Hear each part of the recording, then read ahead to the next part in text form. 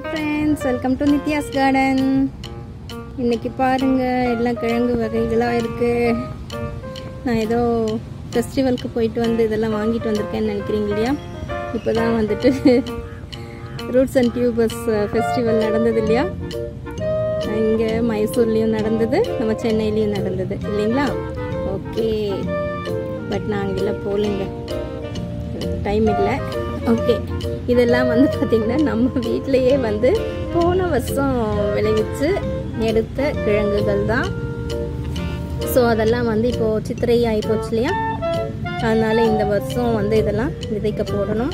அதுக்காக தான் வந்து டைம் கொடுத்துருந்தேன். அதெல்லாம் கொஞ்சம் முளைக்க ஆரம்பிச்சிருச்சு. ஸோ இதெல்லாம் வச்சு விட்டுருலாம் இப்போ வந்து பார்த்திங்கன்னா ஒரு ஃபைவ் டேஸ் எங்களுக்குலாம் நல்ல மழை. அதனால சரி இப்போ வச்சு விட்டுட்டோம்னா அந்த ஈரத்துலேயும் இன்னும் நல்லா வளர்ந்துரும் இல்லையா? ஸோ அதுக்காக தான் இதை வந்து இப்போது விதைக்கிறதுக்காக எடுத்திருக்கேன்.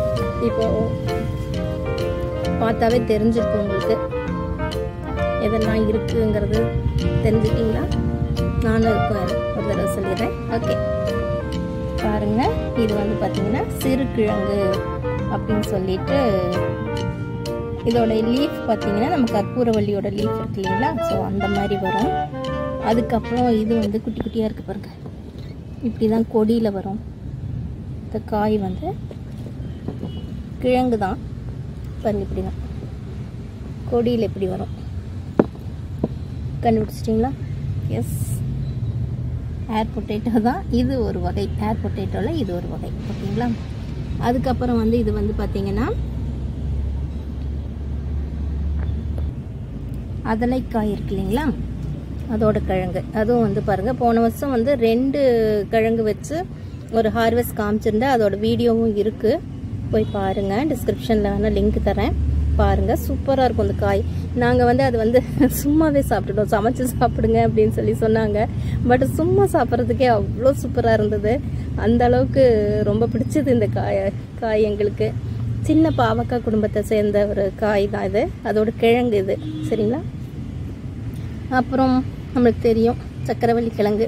இது ரெட்டு கலர் இது வந்து ஒயிட்டு ஓகேங்களா? அதுக்கப்புறம் இது தெரியும். சேப்பங்கிழங்கு ஸோ அதோட டியூபர்ஸ் தான் வச்சுருக்கேன். அதுக்கப்புறம் இது வந்து பார்த்திங்கன்னா ஹேரா ரூட்டுன்னு சொல்லிட்டு நம்ம கூர்க்கன் கிழங்குன்னு நினைக்கிறேன் தமிழில். ஆமாம் இதோட மாவு வந்து ரொம்ப சக்தி நிறைஞ்சதுங்க. ஸோ அதுக்காக தான் இது வந்து வளர்த்துவாங்க. அதுக்கப்புறம் ஆஸ் யூஷுவல் நம்ம மஞ்சள் இப்போ எல்லார் வீட்லேயும் வந்து பார்த்துட்டிங்கன்னா மஞ்சள் வைக்காத மாடி தோட்டமே இல்லை அப்படிங்கிற அளவுக்கு மஞ்சள் வந்து நிறைய வைக்க ஆரம்பிச்சிட்டாங்க. அந்த அளவுக்கு வந்துட்டு அவேர்னஸ் வந்து க்ரியேட் ஆயிடுச்சு ஸோ அதுக்கு எல்லாருக்கும் நன்றி. மஞ்சள் வளர்த்து அதுலேருந்து மஞ்சள் பொடி நம்மளே செய்கிறோம் இல்லையா வீட்டில் ஸோ அவங்க எல்லாருக்கும் வாழ்த்துக்கள். அப்புறம் இது வந்து பார்த்திங்கன்னா சேனைக்கிழங்கு. Yes elephant yam elephant foot yam இல்லையா? ஸோ அது எல்லாம் வந்து முளைச்சி வந்துட்டாங்க பாருங்கள் இது வந்து பார்த்திங்கன்னா இந்த குட்டியாக இருந்தாலும் சரி பெருசாக இருந்தாலும் சரி எப்படி இருந்தாலும் வந்துருங்க. அந்த அளவுக்கு இது ஒரு ஸ்பெஷல் தான். இங்கே பாருங்கள் இதெல்லாம் பாருங்கள் எவ்வளோ குட்டி குட்டியாக இருக்கா? இந்த இந்த சைடு வருது பார்த்தீங்களா அந்த சைடு முளைச்சி வருதுல்ல ஸோ அதுதான் இது பிச்சு வச்சுருந்தேன். ஸோ அது கூட பாருங்கள் முளைச்சி வந்துருச்சு. சூப்பரில். ஓகே.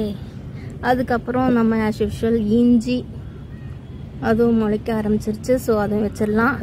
அதுக்கப்புறம் இது வந்துட்டு இங்கே கோயம்புத்தூர் உண்மலை அப்புறம் திருப்பூர் அங்கெல்லாம் நிறைய கிடைக்கும் இது.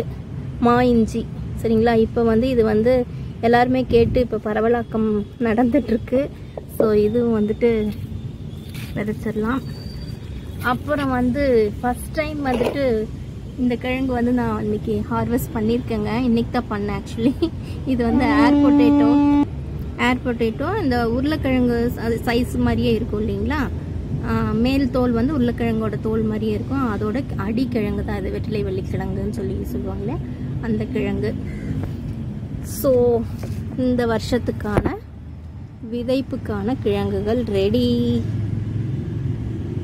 அப்புறம் இவங்க கூட என்ன வைக்க போகிறோம் அப்படிங்கிறதும் பார்த்துடலாம் பாருங்கள் இவங்க தான் மெயின் இது என்னடா கிரானுல்ஸாக இருக்கேன்னு பார்க்குறீங்க இல்லையா? பிரித்து காமிக்கிறேங்க.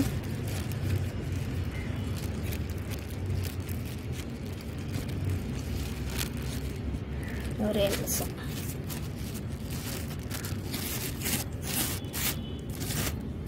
எஸ் சரிதா வேப்பம் பின்னாக்கு அதே தான் இதுதான் வந்து இதுக்கு ஒரே ஃபெர்டிலைசர் அப்படின்னா இது ஒன்று மட்டும்தாங்க.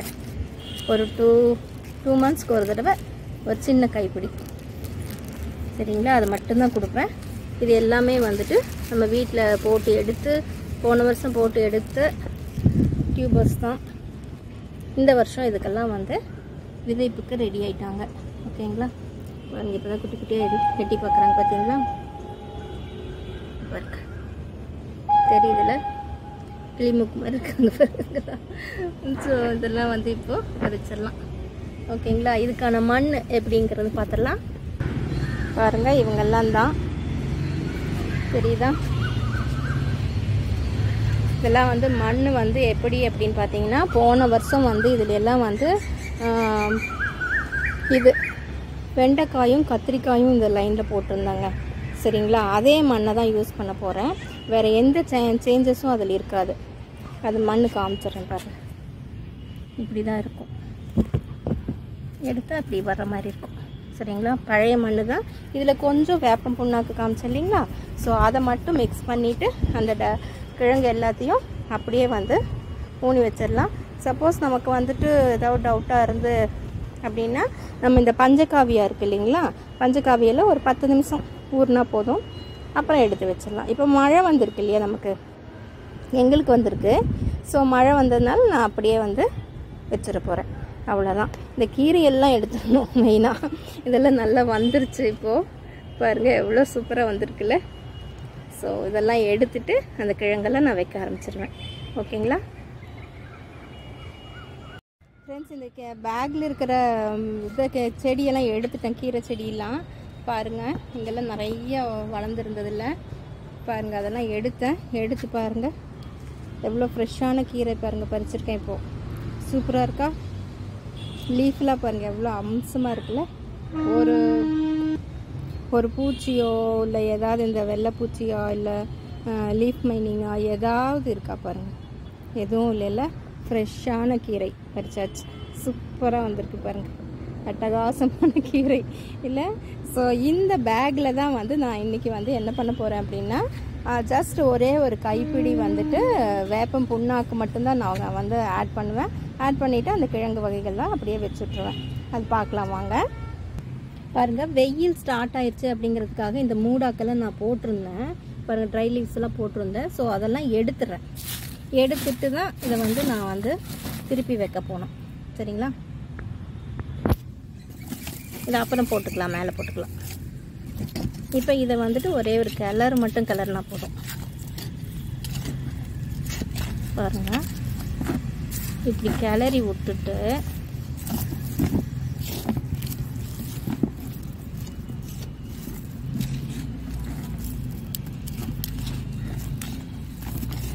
அவ்வளோதாங்க தெரியுதா?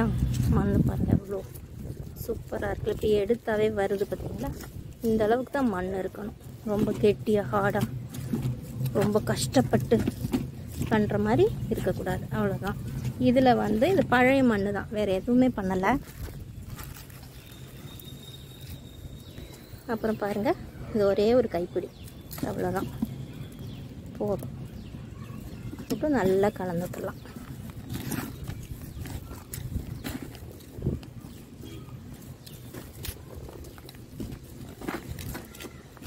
நல்லா எல்லா பக்கமும் வர்ற மாதிரி கலந்துட்டோம் நான் இப்போ வந்து தண்ணி ஊற்ற போகிறதில்ல ஏன்னு கேட்டிங்கன்னா எனக்கு வந்துட்டு மழை வந்தது இல்லைங்களா எங்களுக்கு.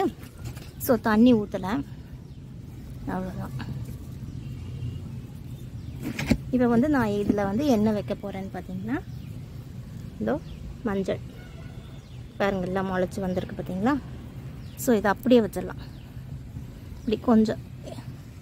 இது வந்து தெரியணும்ல இந்த மேலே போர்ஷன் வந்து கொஞ்சம் தெரிகிற மாதிரி. அப்போ தான் நல்லா முளைச்சி வரும். கொஞ்சம் மண் அனுப்பிச்சி விட்ருலாம் அவ்வளோதான் சரிங்களா? அதே மாதிரி இங்கே பாருங்க.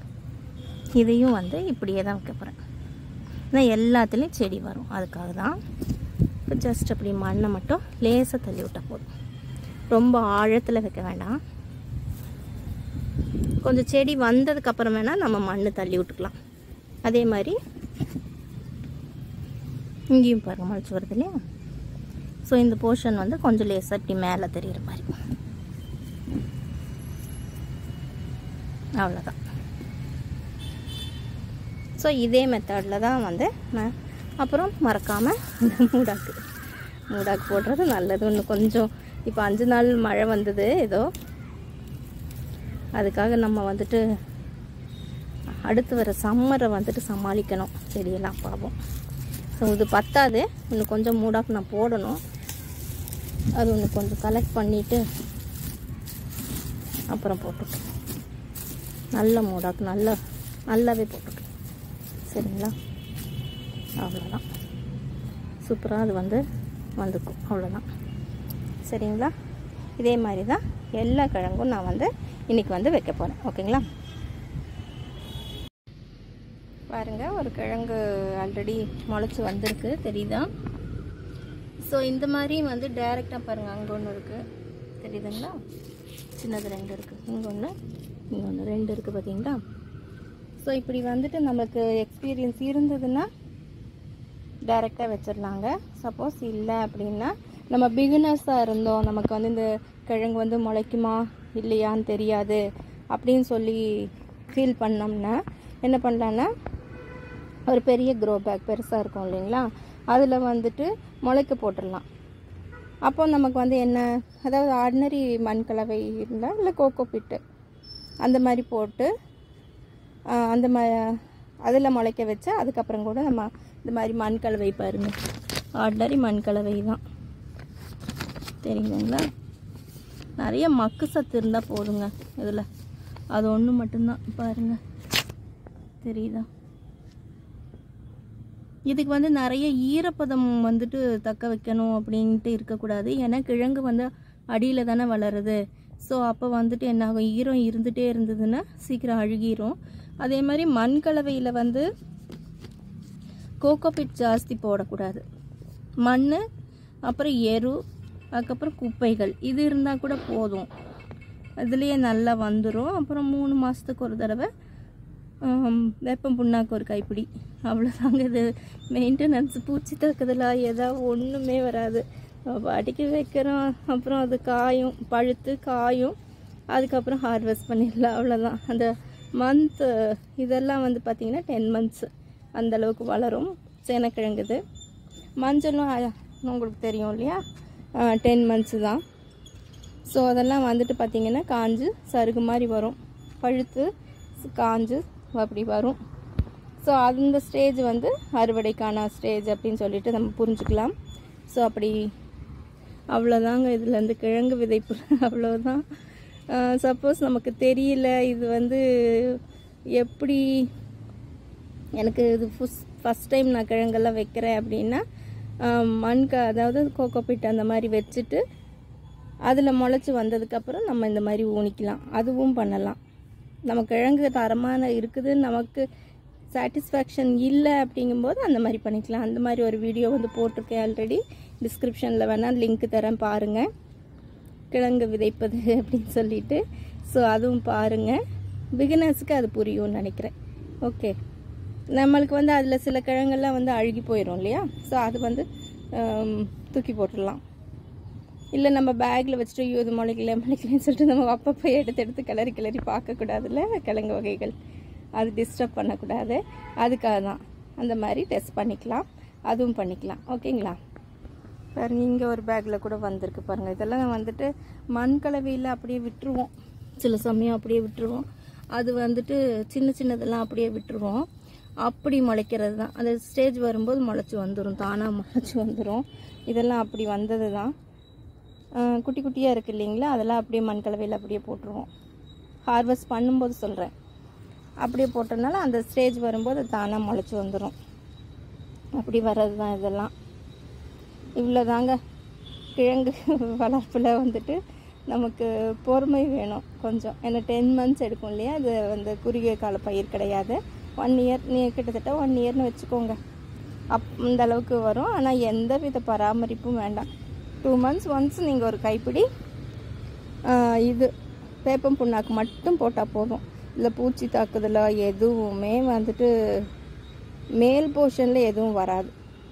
நமக்கு மண் சரியில்லைன்னா வேணால் கிழங்கை வந்து அரிச்சு போகிறதுக்கோ இல்லை அழுகி நிறைய தண்ணி ஊற்றுனோம்னா அழுகி போகிறதுக்கோ சான்சஸ் இருக்குது ஸோ அது மட்டும் பார்த்துக்கோங்க. கிழங்கு வகைகளை பொறுத்த பொறுத்த வரைக்கும் ஃபோர் டேஸ் ஒன்ஸ் நம்ம வந்து தண்ணி விட்டால் போதுங்க. அந்த அளவுக்கு மண்ணில் ஈரப்பதம் இருக்குதா அப்படின்னு சொல்லிட்டு செக் பண்ணிவிட்டு அந்த மாதிரி போடலாம். நல்ல கூல் கா கிளைமேட் இருக்கிறவங்க அது கூட வந்துட்டு நீங்கள் மண்ணை செக் பண்ணிவிட்டு அப்புறம் போடுறது நல்லது. எங்களுதெல்லாம் ரொம்ப ஹாட் கிளைமேட்டு அதனால் அங்கேயே நான் ஃபோர் டேஸ் ஒன்ஸ் தான் போட்டேன். அதனால தான் கிழங்கு வகைகள் அப்படிங்கிறதுக்காகவே வந்து தனியாக வந்துட்டு இடம் ஒதுக்கிடுவேன் பாருங்கள் பாருங்கள் இந்த பேகு ஃபுல்லாமே இப்போ வந்து கிழங்கு வகைகளுக்காக ஒதுக்கியாச்சு. போன தடவை இது ஃபுல்லாமே வந்துட்டு நான் வந்து வெண்டையும் கத்திரியும் போட்டிருந்தேன். இந்த தடவை இது வந்து கிழங்கு வகைகளுக்காக ஒதுக்கியாச்சு. ஸோ இந்த மாதிரி செப்பரேட்டாக நம்ம வந்து ஒரு ஸ்பேஸ் வந்து அதுக்குன்னு கொடுத்துட்டோம்னா அது வந்து பராமரிக்கிறதுக்கு ரொம்ப ரொம்ப ஈஸி மற்ற க்ராப்க்கு வந்துட்டு அப்பப்போ நம்ம வந்துட்டு ஃபெர்டிலைசர் கொடுக்கணும். அப்படி அப்புறம் ஏதாவது பூச்சி தெ வராமல் இருக்கிறதுக்கு தெளிக்கணும். அப்படிங்கிறதுக்கெல்லாம் கேர் கொடுப்போம் இல்லையா? ஸோ அது அதாவது மண் கலவை ரெடி பண்ணிட்டா அந்த கேர் கூட வேண்டாங்கன்னு தான் நினைக்கிறேன். அந்த அளவுக்கு வேண்டியது இருக்காது. ஃபிஃப்டீன் டேஸ் ஒன்ஸ் கொடுக்கறது அதெல்லாம் சாத்தியமான்னு எனக்கு தெரியல. அதே வேலையாக இருக்கிறவங்களுக்கு ஓகே பட்டு நான் அப்படி பண்ணுறதில்ல ஓகே எனக்கு தோணும் போது தான் உரம் கொடுப்பேன்னு வச்சுக்கோங்களேன். அந்த மாதிரி ஒரு உரம் கொடுக்கறதுல வந்து ரொம்ப சோம்பேறி நான். ஏன்னா மண் கலவையிலே அந்த அளவுக்கு பக்காவாக ரெடி பண்ணும். அதுலேயே வந்தாகணும் நீ அப்படிங்கிற மாதிரி ஒரு கண்டிஷன் கண்டிஷன் போட்டு தான் வளர்த்துவேன் அதையே. அதனால ஸோ இது வந்துட்டு அப்படியே வந்துக்குவாங்க. நல்ல கிழங்கு வகைகள் பொறுத்த வரைக்கும் எனக்கு நல்ல ஈல்டிங் இருக்குது ஸோ இது அவ்வளோதாங்க இதில் எல்லாம் விதைச்சாச்சு. பா நே இதெல்லாம் பார்த்தீங்கள இந்த ட்ரேயில் பார்த்தீங்களா ஸோ அது எல்லாமே இதில் தான் போட்டு விட்ருக்கேன் இன்னும் எப்படி முளைப்பு எப்படி வருது அப்படிங்கிறத நெக்ஸ்ட் வீடியோவில் பார்க்கலாம். ஓகேங்களா தேங்க்யூ அப்புறம் சப்ஸ்கிரைப் பண்ணாமல் பார்க்குறவங்க தயவு செஞ்சு சப்ஸ்கிரைப் பண்ணி சப்போர்ட் பண்ணுங்கள் கமெண்ட்ஸில் மறக்காமல் கமெண்ட் பண்ணுங்கள் ஓகே தேங்க்யூ தாளினைவோம் உலகை காப்போம். நன்றி.